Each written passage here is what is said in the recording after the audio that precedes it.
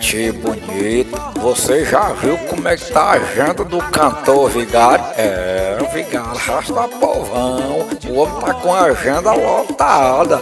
Cantor de forró de reggae é o Vigário e agora lançado pela gravadora CD100 do Brasil. É o Vigário. Olha que você presta bem atenção que a agenda do homem julho e agosto tá lotada.